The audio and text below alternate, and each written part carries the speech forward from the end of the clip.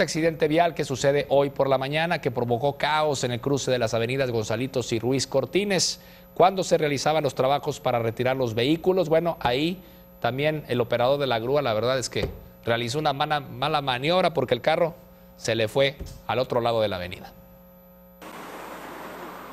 Un aparatoso accidente se registró este viernes sobre el paso a desnivel de Gonzalitos y Ruiz Cortines al poniente de Monterrey. El percance se presentó alrededor de las 7 de la mañana en la circulación de sur a norte y ocasionó complicaciones en la vialidad, ya que varios carriles fueron afectados. Elementos de la Cruz Verde atendieron en el lugar a la conductora del vehículo, identificada como Nayeli Guzmán Ávila, de 28 años, quien resultó con golpes leves.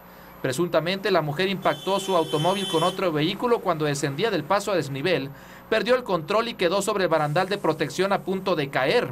Sin embargo, fue con las maniobras del operador de la grúa que el automóvil cayó a la calle lateral de una altura de dos metros.